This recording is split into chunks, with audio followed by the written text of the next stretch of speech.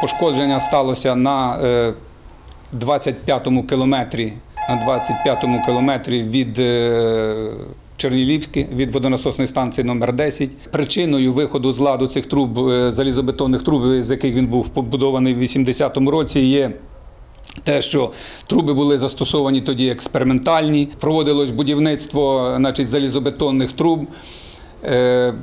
Вони відпрацювали свій експ- експлуатаційний термін, який складає 18 років, а вони вже працюють 39 років.